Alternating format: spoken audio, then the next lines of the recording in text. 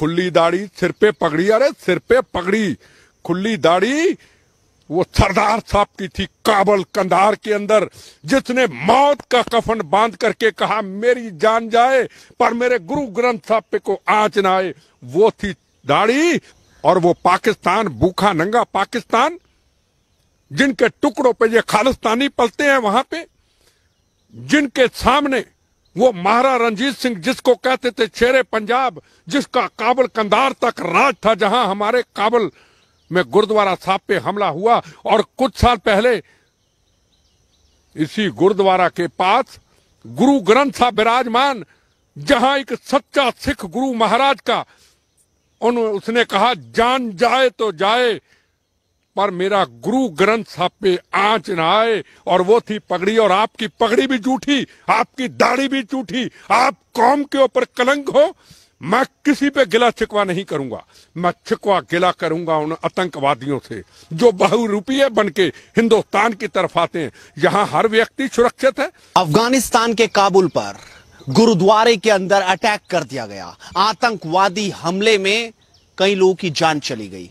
लेकिन सवाल है कि गुरुद्वारे पर अटैक कर आखिरकार वो क्या संदेश देना चाह रहे थे। और भारत में बैठे धर्म के ठेकेदार अब चुप क्यों हैं? सवाल यही है इसी पर बातचीत करने के लिए एम एस बिट्टा साहब हमारे साथ मौजूद है। उन्हीं से बातचीत करते हैं। बिट्टा साहब, सबसे पहले प्रतिक्रिया में जानना चाहूँगा, जिस तरीके से काबुल में जो हुआ, कुछ चंद परिवार और वहाँ भी अब गुरुद्वारे पर हमला चुप्पी सबके चेहरे पर इस वक्त है, जो छोटी छोटी बातों पर बाहर आते हैं, आज वो चुप क्यों हैं? और सबसे पहले आपकी क्या प्रतिक्रिया इस पूरे मुद्दे पर? पहले तो आपने बहुत अच्छी शुरुआत की कि धर्म के ठेकेदार कहाँ हैं? जिनके सामने ब्लू स्टार ऑपरेशन के दिन के ऊपर कुछ दिन पहले अमृतसर के अंदर खालिस्तान के झंडे लेकर के ये नारे लगे। हम आज़ादी चाहते हैं, हम खालिस्तान चाहते हैं। और दीप संधु की मौत के बीच में जब उसका संस्कार था तो नारे क्या लगे थे? गीता ज्ञान बुलाना होगा, खालिस्तान बनाना होगा। सवाल उन लोगों को है मेरा, धर्म के जिम्मेदार लोगों को, पंजाब के उन लोगों को या कहीं भी बैठे हुए लोगों को, कि जब करनाल के अंदर चार आतंकवादी पकड़े गए, जिनको पाकिस्तान ने ड्रोन के ज़रिए हथियार भेजे थे, और हथियार आरडीएक्स दिल्ली को उड़ाने के लिए नदेड़ साहब पे हमला करने के लिए आंध्र प्रदेश में बॉम्बे के अंदर हथियार भेजे थे और लुधियाना के अंदर किसी कोर्ट के ऊपर बम्बों से हमला किया गया था। उन खालिस्तानियों ने इनको पूछना चाहता हूँ। इन खालिस्तानियों को पूछना चाहता हूँ। इन चंद धर्म के ठेकेदारों को पूछना चाहता हूँ। ये सिख कौम मानवता के लिए बनाई गई थी। ये सिख कौम हिंदू, मुसलमान, सिख ईसाई की रक्षा के लिए बनाई गई थी। और वो पाकिस्तान भूखा नंगा पाकिस्तान, जिनके टुकड़ों पे ये खालिस्तानी पलते हैं वहाँ पे, जिनके सामने वो महारा रंजीत सिंह जिसको कहते थे शेरे पंजाब, जिसका काबल कंधार तक राज था जहाँ हमारे काबल में गुरुद्वारा साहब पे हमला हुआ, और कुछ साल पहले इसी गुरुद्वारा के पास गुरु ग्रंथ साहब विराजमान, जहाँ एक सच्चा सिख गुरु महाराज का उन, उसने कहा, जान जाए तो जाए, पर मेरा गुरु ग्रंथ साहब पे आँच न आए और मौत का कफन बाँध करके अपने गुरु को सीने पे लगा के लेके आया। वो थे सच्चे सिख। ये ये सिख, एक सच्चे सिख, एक ये खालिस्तान के नारे सुनने वाले और पंजाब के अंदर जिम्मेदार धर्म के कहते हैं, अब नौजवानों को हथियार उठाने होंगे। अब नौजवानों को हथियारों की ट्रेनिंग लेनी होगी। लोग गुप्त देते हम खुले आम देंगे। आप किसको खतरा मानते हैं हिंदुस्तान में? इन जिम्मेदार सिख समाज के उन चंद ठेकेदारों को कहना चाहता हूँ। आपको पंजाब में, हिंदुस्तान में हिंदू से खतरा है, आपको नरेंद्र मोदी से खतरा है, आपको आरएसएस से खतरा है, आपको कांग्रेस से खतरा है। आपको खतरा किससे है? खालिस्तानियों ने उन्नीस हज़ार हिंदू भाइयों का कत्लेआम कर दिया।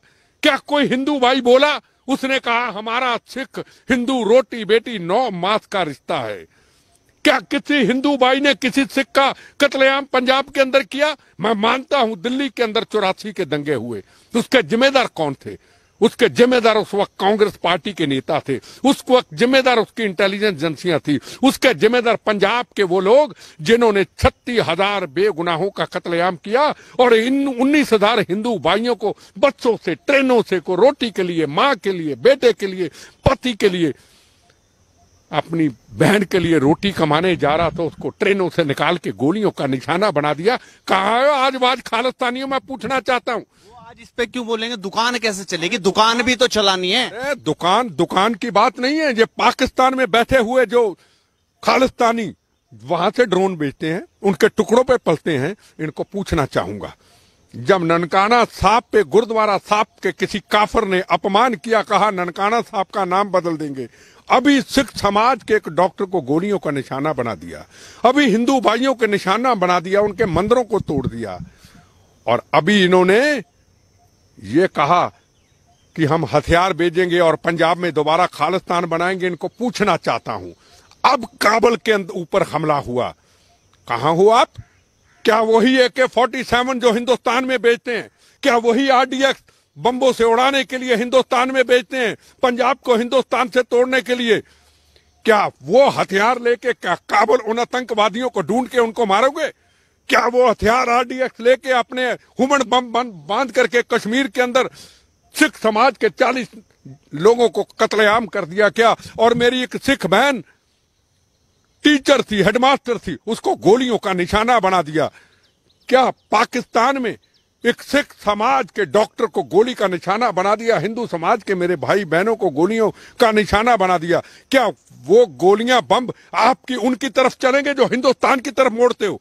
आप खालिस्तानी भी नहीं हो। आप आतंकवादी भी नहीं हो।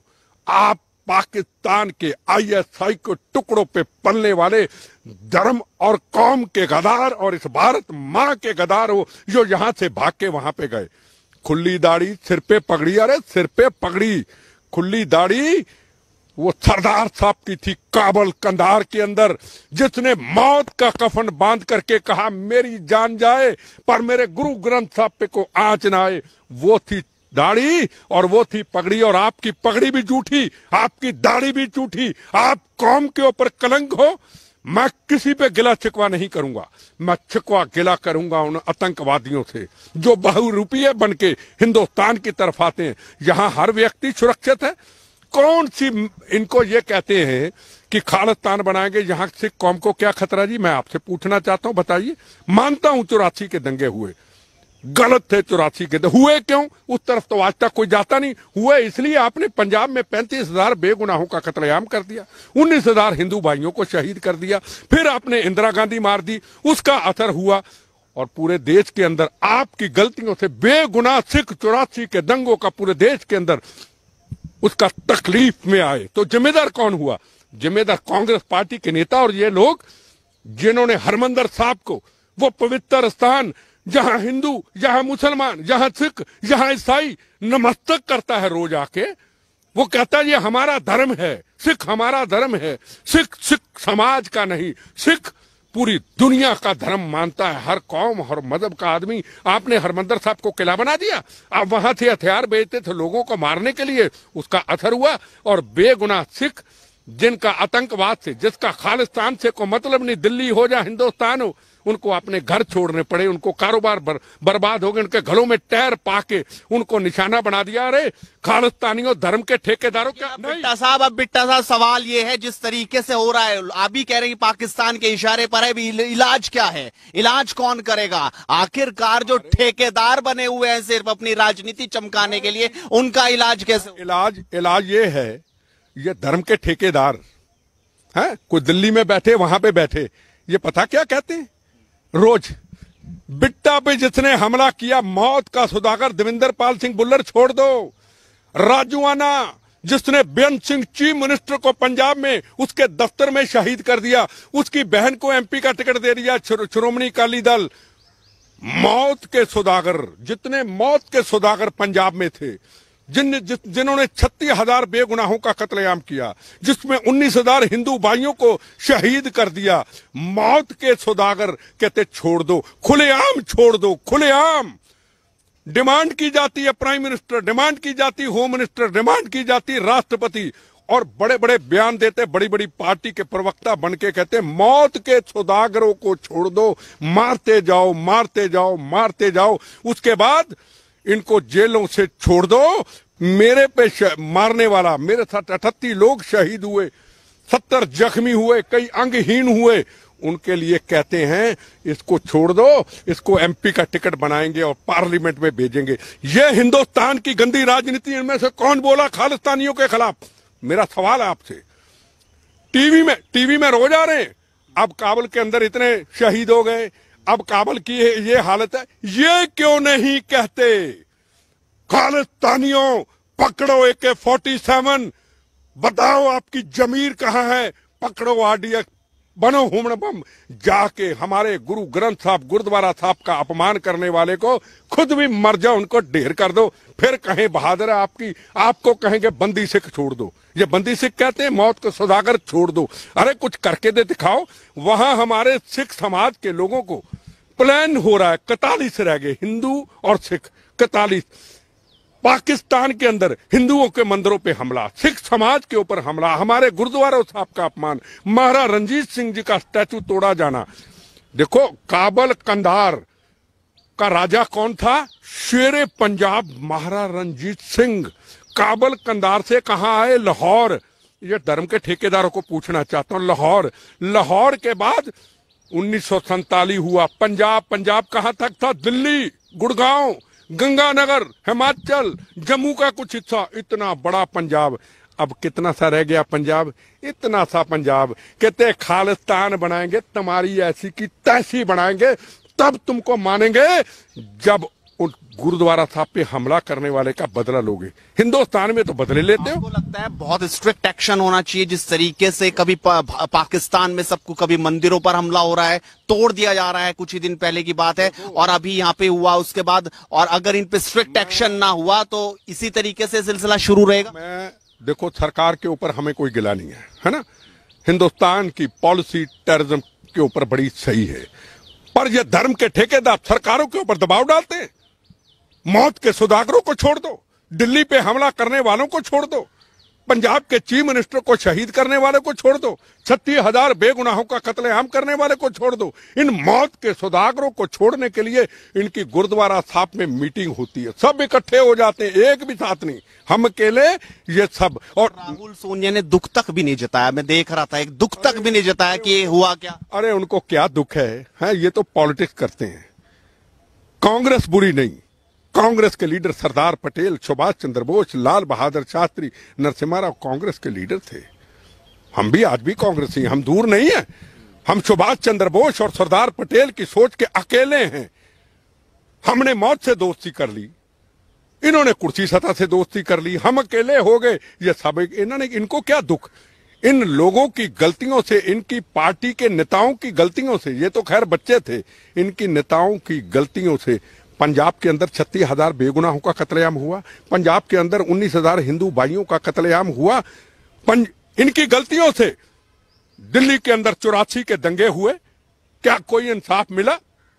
कोई इंसाफ नहीं आज तक मिला। तो ये तो लोग करते हैं पॉलिटिक्स। ये चाहते हैं सब छोड़ दो। पहले बर्बाद कर दो फिर छोड़ दो। मैं एक चीज़ मैं कहूँ जितनी देर तक सिख समाज के अंदर डबल पॉलिसी की राजनीति खत्म नहीं होगी। आतंकवादी आतंकवादी है, ये नहीं कहेंगे। हिंदू है, मुसलमान है, सिख है, ईसाई है। बेगुनाहों का कातल पाकिस्तान के इशारों पे चलने वाला, पाकिस्तान के टुकड़ों पे चलने वाला, हिंदुस्तान को तोड़ने की कोशिश करने वाला और विदेशों से फंडिंग से बर्बाद करने वाला वो आतंकवादी है। उसके खिलाफ खड़े होना होगा, ये नहीं होगा कि चलना पड़ेगा, जुड़ के चलना पड़ेगा। यूनिटी लानी होगी। कौन? यूनिटी है। यूनिटी है पंजाब के अंदर, गुरुद्वारा साहब के अंदर। जितनी लड़ाइयाँ थी सब खत्म। एक ही काम कर दो, राष्ट्रपति साहब, पीएम साहब, होम मिनिस्टर साहब। मौत के सौदागरों को छोड़ दो जिन्होंने पंजाब में छत्तीस हज़ार बेगुनाहों का कत्ल किया था। बिट्टा के ऊपर हमला करने वाले को छोड़ दो। अठत्ती लोग शहीद हुए, जवान शहीद हुए। सत्तर जख्मी हुए, अंगहीन हुए। चीफ मिनिस्टर बेन सिंह के कातल को छोड़ दो। मौत के सौदागरों को ये इकट्ठे होते हैं। देश के लिए नहीं, राष्ट्र प्रथम है। मैं हूँ ना, उस भगवान की मात रानी की कृपा से, गुरु महाराज की कृपा से, भारत माता की कृपा से, रोज कहता ना, मेरा धर्म भारत माँ, मेरी जात बंदे मातरम, और रोज भगवान से प्रेयर करता हूँ। कभी मौत इन गरदारों से, इन खालिस्तानियों से। इनकी धमकियों से मैं डरता नहीं, मैं रोज कहता हूँ, अगर मुझे मौत कभी दोबारा बम्बों से देना, आखिरी शब्द इतना निकलने की शक्ति, ताकत देना, एक ही चीज़ माँगता हूँ, एक ही, मेरा धर्म भारत माँ, मेरी जात बंदे मातरम, और मुझे चरणों में छपा लेना, इनकी तरह गदार नहीं हूँ, इनकी तरह धोखेबाज नहीं हूँ। मैं अपनी मातृभूमि के लिए जीवन दिया है, आखिरी सांस तक बोनस की ज़िंदगी दूँगा, पर इन खालिस्तानियों को कहना चाहूँगा, कहा हो आप? आप बैठे हो पाकिस्तान, आप बैठे हो काबल कंधार, आप बैठे हो कनाडा, आप बैठे हो अमेरिका। सारे नहीं, अमेरिका में बहुत अच्छे सिख हैं, कनाडा में सच्चे सिख हैं, इंग्लैंड में, जर्मनी में सच्चे सिख हैं। ये गदारों को कहना चाहता हूँ। हमारा तो जाना मुश्किल है, जाओ उधर से प्लेन लेके, जाओ, मार के वहीं अपने आप को शहीद कर दो। हम भी कहेंगे, आप शहीद हुए कौम के लिए और देश के लिए और गुरु ग्रंथ साहब के लिए और गुरुद्वारा साहब के लिए। बिट्टा साहब, बड़ी बेबाकी से बोले, उन्होंने साफ़ तौर पर वो दिखाई दिखाई दे रहा था कि किस तरीके से जो कुछ काबुल में हुआ, वो गुस्सा उनके अंदर भी नज़र आ रहा है। और कुछ पॉलिटिकल पार्टी सिर्फ़ अपनी राजनीति इस पूरे मुद्दे पर कर रही है, लफ्ज एक नहीं निकल रहा।